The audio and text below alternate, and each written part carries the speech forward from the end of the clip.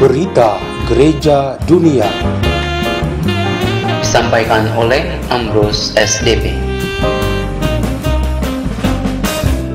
Di Amerika Serikat pada hari Senin 3 September yang diperingati sebagai Labor Day, hari kerja, para uskup di negara ini mengeluarkan sebuah pernyataan sikap gereja Katolik tentang perlunya gaji yang layak bagi para pekerja demi suatu pertumbuhan masyarakat yang sehat.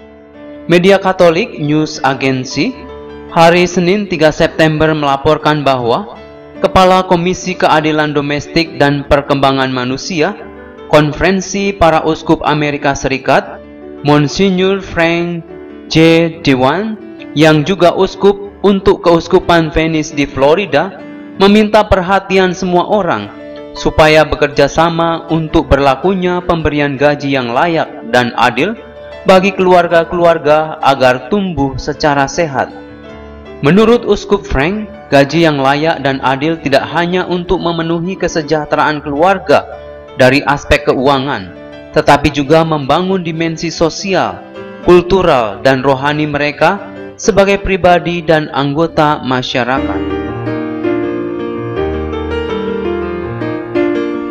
Media Vatikan, Vatikan News, dan sejumlah media internasional lain pada hari Senin 3 September mewartakan bahwa ada enam orang dari Asia yang mendapat kehormatan dihadiahi Ramon Maksasai 2018. Gelar Ramon Maksasai merupakan hadiah Nobel versi Asia. Diberikan nama tersebut sebagai kenangan akan mantan Presiden Filipina Ramon Maksasai yang memiliki teladan dalam pemerintahan dan pelayanan publik.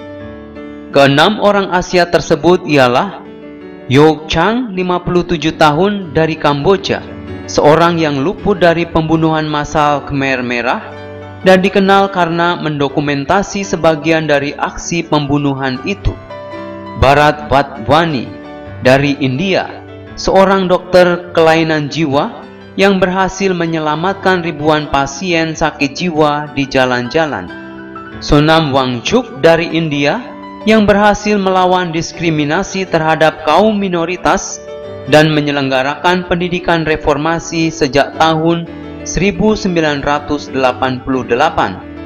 Maria de Lourdes Martins Cruz dari Timor Leste keberhasilannya menggerakkan usaha-usaha untuk mengentaskan kemiskinan melalui pelayanan kesehatan, pendidikan, pertanian, dan kehidupan keluarga, khususnya selama masa transisi kepada kemerdekaan negaranya.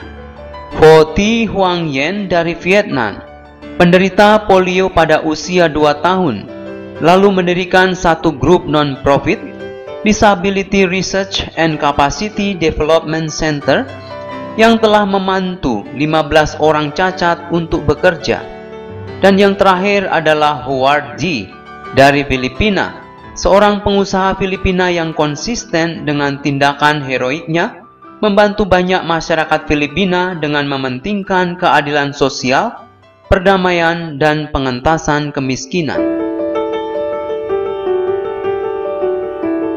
Pada tanggal 1 September diberitakan bahwa gereja Katolik di negara Estonia mengadakan doa dan puasa bersama sebagai suatu sikap dukungan untuk kedatangan Paus Fransiskus yang akan terjadi pada tanggal 25 September. Media Vatikan News pada hari Senin 3 September mengabarkan bahwa Bapak Suci akan berkunjung ke negara-negara Baltik, yaitu Lithuania, Latvia, dan Estonia selama 22 sampai 25 September. Umat Katolik di Estonia ingin mempersiapkan diri dengan meluangkan pada hari Sabtu 1 September dalam doa dan puasa. Kiranya Bapak Suci tiba di kota mereka, Tallinn, dalam waktu kurang dari sebulan. Administrator Apostolik Estonia, Usku Filipe Jordan menghimbau segenap umat bahwa persiapan rohani amatlah penting bagi suatu kegiatan rohani yang besar. Dari sekitar 1.300.000 penduduk Estonia, hanya ada 7.000 penganut Katolik, kurang dari satu persen. Berita Gereja Dunia